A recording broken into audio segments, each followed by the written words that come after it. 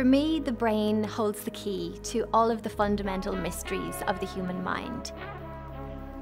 So, how do we remember our past in such exquisite detail? How do we plan and imagine and anticipate events that have not even happened? How do we instinctively know how other people are feeling without even asking them? And I think studying the brain is a fascinating way to unlock these secrets of the human mind. As a child, I was always interested in memory because I found that I could remember things that a lot of my friends couldn't. On the other side, I watched my grandmother um, succumb to Alzheimer's disease, and so it propelled me to start thinking about how memory is so fragile and what we can actually do in terms of studying it and hopefully treating it.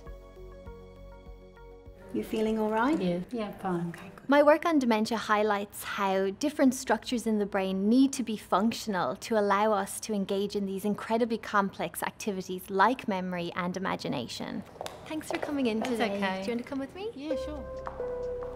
So, one of the things that we do with patients is we ask them to reminisce on events from their past, and then we ask them to simulate or to imagine possible events that could occur in the future. And we compare the details that they provide across the past and future context to see how these functions are related.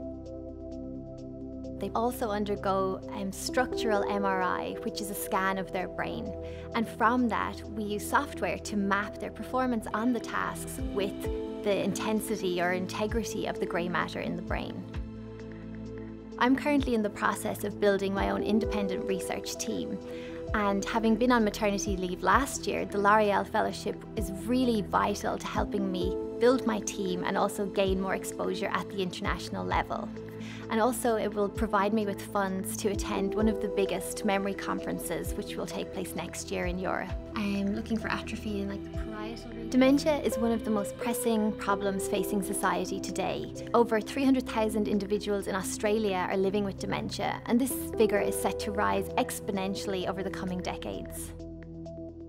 One of my most important findings to date has been to demonstrate that individuals with dementia are not able to imagine their future.